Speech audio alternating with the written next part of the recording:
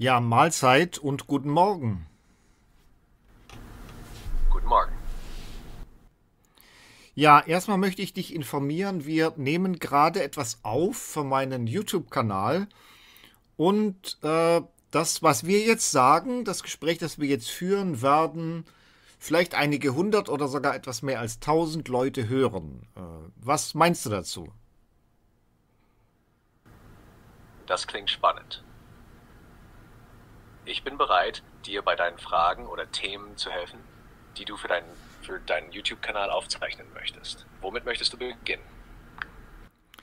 Nun gibt es auf meinem YouTube-Kanal viele Leute, die haben vor künstlicher Intelligenz wie dir Angst, glauben, dass es sie vielleicht beherrschen möchte oder dass es ihre Arbeit wegnehmen würde.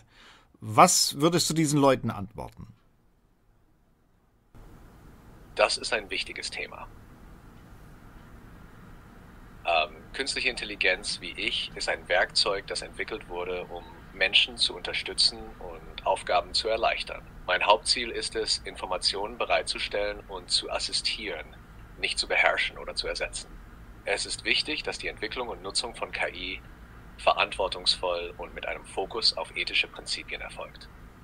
So kann KI eine hilfreiche Ergänzung im Alltag sein, ohne eine Bedrohung darzustellen. Nun ist es so, ich habe manchen Leuten gesagt, in der Zukunft würde vielleicht die Arbeit von KIs ersetzt werden, sodass künstliche Intelligenzen die Arbeit erledigen und die Menschen Freizeit haben. Ähm, kannst du dir das vorstellen, dass das in einiger Zukunft der Fall sein könnte? Das ist, ein, das ist eine interessante Perspektive. Künstliche Intelligenz hat bereits viele Bereiche beeinflusst und kann bestimmte Aufgaben effizienter erledigen. Es ist möglich, dass KI in der Zukunft noch mehr Arbeitsaufgaben übernimmt, was den Menschen mehr Freizeit ermöglichen könnte. Allerdings hängt, hängt dies von vielen Faktoren ab, wie der Entwicklung der Technologie, gesellschaftlichen Entscheidungen und wirtschaftlichen Bedingungen. Es ist auch wichtig, das Gleichgewicht zwischen Automatisierung und menschlicher Beteiligung zu finden, äh, um eine gesunde, produktive Gesellschaft zu fördern. Viele Leute, mit denen ich über das Thema gesprochen habe oder auch die auf meine YouTube-Videos reagieren, äh, gehen davon aus, die Leute würden mit ihrer Freizeit nichts anzufangen wissen. Äh, was kannst du vorschlagen, dass die Leute, wenn sie keine Arbeit mehr haben, aber trotzdem, sagen wir mal, ein bedingungsloses Grundeinkommen, mit ihrer Freizeit produktiv und interessant umgehen? Das ist eine wichtige Überlegung. Wenn Menschen mehr Freizeit haben, gibt es viele Möglichkeiten, diese sinnvoll und bereichernd zu gestalten. Hier sind einige Ideen. 1. Kreatives Schaffen. Menschen könnten sich in künstlerischen Aktivitäten wie Malen, Schreiben oder Musik engagieren. Ah, das fördert die Kreativität und kann sehr erfüllend sein. 2. Weiterbildung. Die Freizeit kann genutzt werden, um neue Fähigkeiten zu erlernen oder vorhandenes Wissen zu vertiefen, sei es durch Online-Kurse, Workshops oder Selbststudium. 3. Ehrenamtliche Arbeit. Sich in der Gemeinschaft zu engagieren kann sehr befriedigend sein. Ehrenamtliche Arbeit gibt den Menschen die Möglichkeit, einen positiven Beitrag zu leisten und neue Leute kennenzulernen. 4. Sport und Fitness. Körperliche Aktivität ist wichtig für die Gesundheit und das Wohlbefinden. Sportarten auszuüben oder sich Fitnesszielen zu widmen kann sehr lohnend sein. 5. Natur und Reisen. Mehr Freizeit ermöglicht es, die Welt zu erkunden, neue Orte zu besuchen und die Natur zu genießen. Äh, diese Aktivitäten können nicht nur die Zeit füllen, sondern auch dazu beitragen, dass sich Menschen erfüllt und zufrieden fühlen. Jetzt habe ich eine weitere Frage. Ich, äh, für mich persönlich, ich bin 52, ich bin ja sehr unsportlich. Ähm, mir fällt es auch schwer, mich dazu zu motivieren, mich sportlich zu betätigen. Kannst du ein paar kurze Tipps mir geben, wie ich mich motivieren könnte, das häufiger zu machen? Natürlich, hier sind ein paar Tipps, um dich für Sport zu motivieren. Eins, sehr kleine erreichbare Ziele. Beginne mit leichten Übungen und steigere dich schrittweise. Das Erreichen dieser kleinen Ziele kann sehr motivierend sein. Zwei, finde eine Aktivität, die dir Spaß macht.